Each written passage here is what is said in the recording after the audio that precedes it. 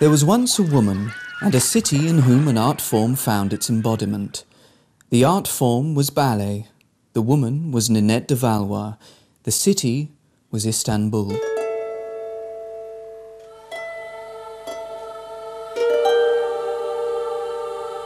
This is the tale of a shy girl which started in Ireland more than a hundred years ago and whose life spanned the whole of the 20th century and whose influence reached right across the world. The central player in the drama was one of the most important figures in ballet and two of the world's great cities, London and Istanbul. It was very much a pas de trois.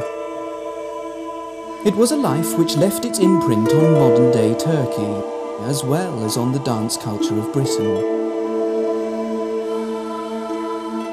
London was her first and main partner, but she was also swept off her feet by the vibrancy and quiet intensity of Istanbul, with its 19th century houses, wisteria strewn and lapped by water I can recall that as a child of about 10 years of age, I was asked to dance in a London drawing room for the entertainment of a visiting Persian prince. He gave me a dancer's charm, a tiny, exquisite gold coin that had engraved on one side the words, Allah guide thy feet. They were guided to the shores of Asia Minor in no uncertain fashion some 35 years later. And perhaps God did play his part in taking de Valois there. A Father Hutchinson was the parish priest for the area that included the Vic Wells Ballet, and he spent a lot of time there watching the dancing. In 1947, he was appointed the Padre of the British Consulate in Istanbul. He saw that Turkey had a state theatre and a national opera, but no ballet company. At a cocktail party, he suggested to the Minister of Culture that de Valois be charged with setting one up. De Valois first went to Ankara, the capital, in 1947, when British ballet had already established a strong national reputation, but Turkey itself had no tradition at all of classical ballet.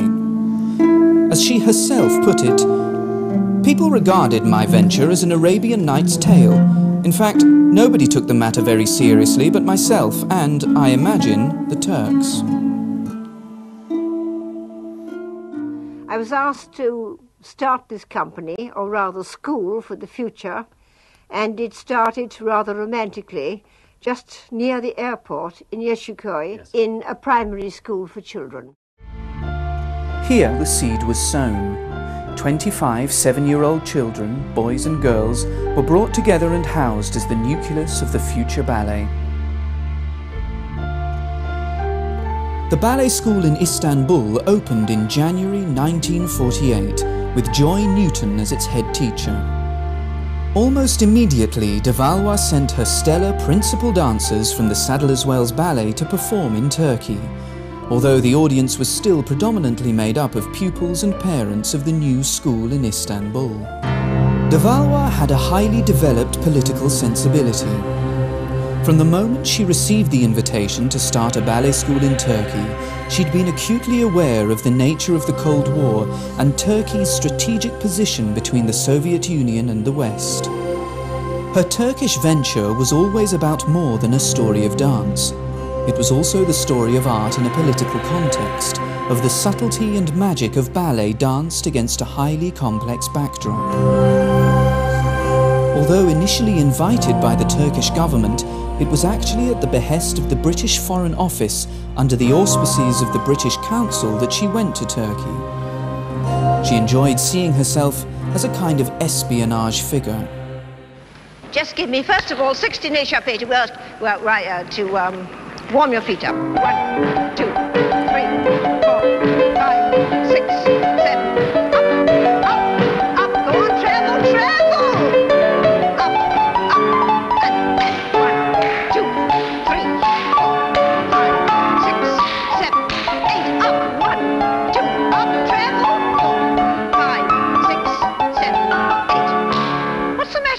idea of a diagonal? Most classes, one or two girls used to leave the room sobbing. Oh, she was a very, very frightening person. Well, um, it depends on what one means by ruthless. I will certainly um, say I can be tough, but then one must be tough. I mean, toughness is a form of honesty, let's face it. There are moments when it is wiser to, shall I say, camouflage your toughness with discretion and tact. There are moments when it's the last thing you should do. You've got to come out with the truth. De Valois had always been demanding of herself, and she applied the same standards to others. Perhaps the degree to which she pushed her proteges spoke of something unfulfilled in her own life. A strong purpose lady, and uh, as also she was also uh, a, a person who who was a kind of mother, and her children were, were the dancers, and she understood that. She was sometimes very hard in a way on certain people because she wanted the best from them, like any mother. In Turkey, this aspect of her personality softened and showed itself more recognizably. I think her, her love of Turkey stemmed from a number of things, but I think one of the things was she was Irish and very proud of her Irish background, and she always said she thought that there was something Irish about the Turks. She felt uh, something very close to the Turks because they were her baby really. Bizim kavgalarımız, bizim karşılıklı dargınlarımız, bizim karşılıklı coşkularımız, bizim partilerimiz aramızda İngilizlerle çalışmalarıyla bizdeki anne çocuk ilişkisinin arasında çok var. Orada da çocukları gibi seviyordu. Onlara kızıyordu filan. Ama onlar daha resmiydi madamla. Biz hiç resmi değildik madamla. Neler ne gırgırlar yapardık madamla beraber. Yani. İngiltere'deki madamın ve İngiltere'deki madama herkesin o şeyle baktığı, kraliçe gibi baktığı kadına biz annemiz olarak bakıyorduk. Biz onun kraliçe falan olduğunu hiç görmemiştik ki zaten. O bize bir anne gibi geldi. Because you see, I think she looked upon us all as her children. She did, you see. This is why we were never allowed, I think, to grow up.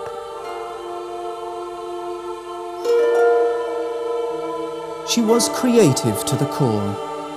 There was a continuous sense of generating something, forming her own career, establishing a school, nurturing a talent, collaborating on a ballet, structuring a company, writing a poem, an article, a book.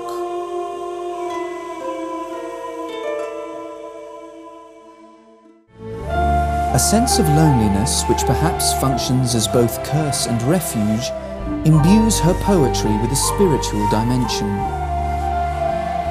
Sufism is the mystical aspect of Islam, and Turkey is one of its traditional heartlands. By an interesting coincidence, independent of his wife's Turkish adventures, De Valois' husband Arthur was a Sufi. In the whirling dervish of Sufism, we have another iconic image of the power of dance. By turning, a Sufi tries to purify his or her soul and aims to achieve wholeness and self-fulfillment in unity with God or Allah. There was certainly a spiritual dimension um, to her life, which you see in her poems.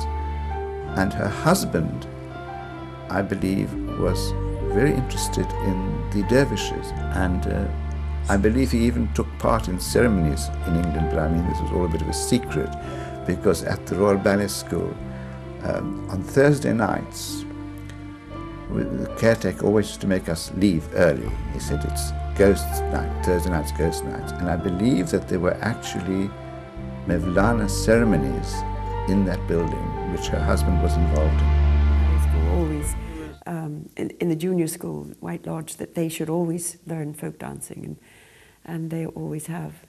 I mean, to a point where I thought, come on, this is a ballet school, why are we doing all this folk dancing? But she said, you, you must know your country, your own country's traditional dances. Folk dance in Turkey is almost as natural and pervasive a form of expression as speech.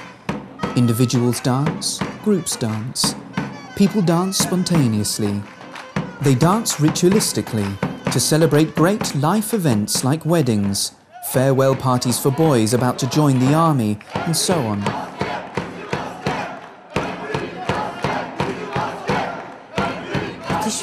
Türk folkloruna mesela bizim. Dansları aşıktı kadın. Yani çünkü neden? Her yöreden o kadar değişik ritimlerle danslar vardı ki madamın aklı döndü. Yani buradan nasıl dansçı çıkmaz?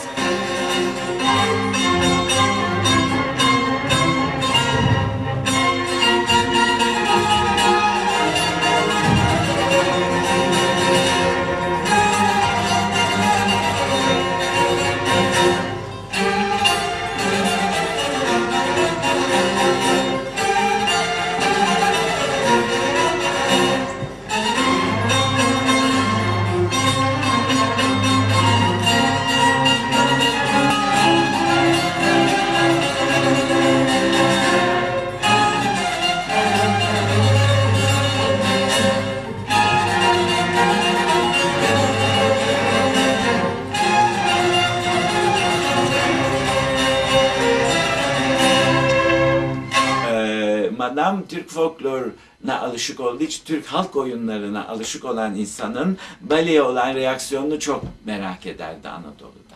Bu reaksiyon için gerçekten Anadolu turnelerini çok e, desteklerdi ve Madam'ın dediği çok çıkmıştır. Mesela operaya hala alışamamış Anadolu bölümleri varken bale folklordan ve e, halk oyunları, orta oyunlar baleye çok çabuk ya. Hemen baleyi anlar Türk seyircisi. Baleye çok yakınlık gösterir. Baleye hemen reaksiyon gösterir. Operada daha zor olmuştur ama bale gerçekten Madam'ın dediği çıkmıştır.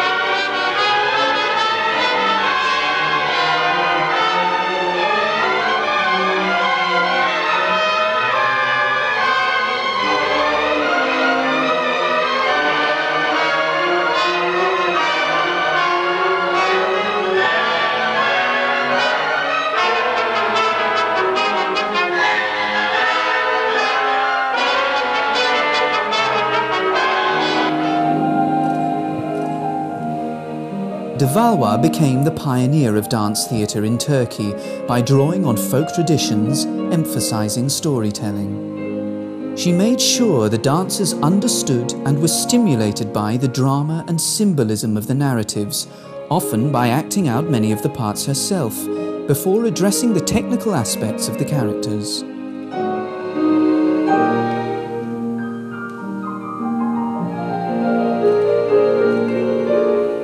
Mesela ben o gün çok mühimsiyorum o günkü provamda. Ay şu kısmı çok iyi yapacağım, çalışıyorum.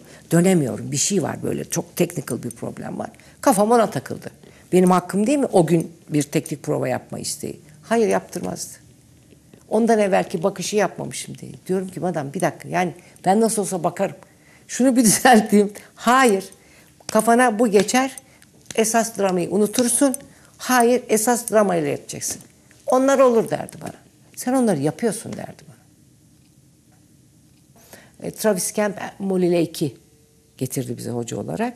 Molly Lake ve Travis Kemp de Çiketi kampanyasından. Onlar daha da çok dramaya, dansa ehemmiyet verirlerdi. Biz artık artist olmakla bale yapmanın farkını biz zaten aşağı yukarı 13 yaşında ben anlamıştım. Hence, the ideas of Cecchetti, Massine, and Nijinska influenced Turkish ballet in their stress on the expressive use of the upper body rather than an acrobatic approach to dance movement.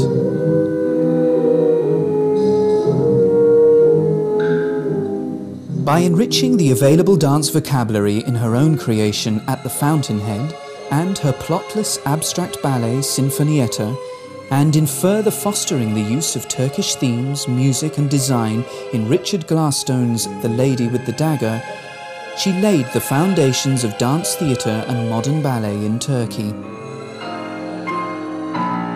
De then urged the first emerging Turkish choreographers to create new work based on their own cultural roots, as well as encouraging the establishment of an independent modern dance ensemble within the Ankara Ballet Company. De Valois particularly wanted to introduce the young Turkish choreographer Duygu Aykal to a more experimental approach to choreography, and so arranged for her to join Massine's course at the Royal Ballet School in London.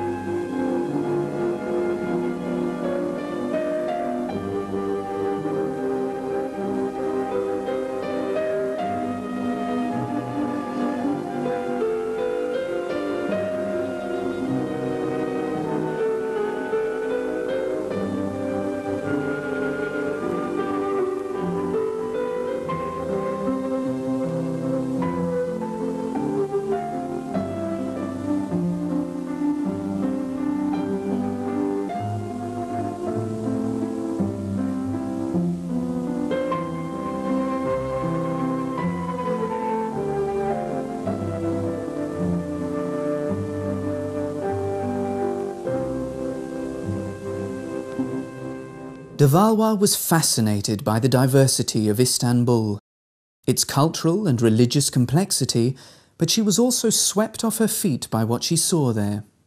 The ports of the Bosphorus may even have evoked the seaside towns of her youth.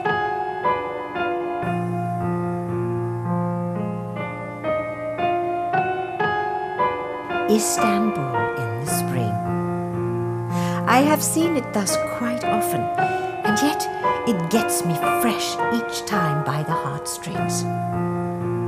There is its tumbling, luscious wisteria, falling in unruly cascades after a mighty climb up some high wall or the sides of a house. Then the old wooden houses, wonderful examples of 17th century work, gratefully and graciously do they seem to stretch out their elegant timbered facades towards the warm sun's rays.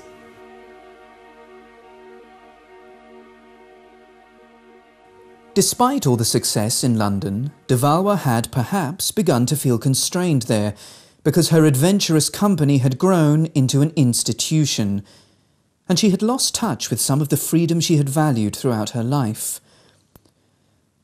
So the invitation to Turkey was very timely on a personal level, because she instinctively sensed it would provide an escape for her, a chance to rediscover her joie de vivre.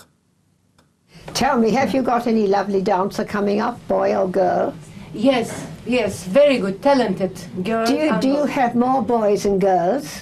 Yes. Thought yes. she'd say yes. there are more male dancers on that side of the world than female, you know.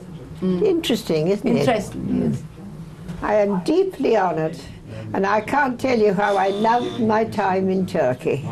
It was one of the most interesting things I ever did to have the honor of starting the Turkish ballet.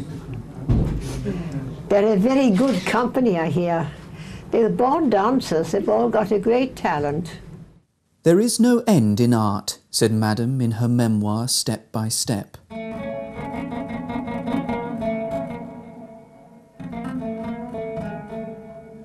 Life, too, moves on. Past, present, and future seep into one another. The layers shift. The days and the centuries haunt one another. The cultural currents shimmer and commingle, making the city so mysterious and fragile.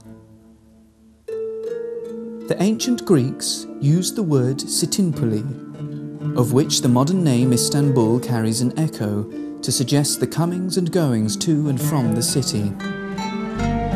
De Valois' time here reflected the soul and character of this place, which has always been crystallized in the dancing of the people themselves.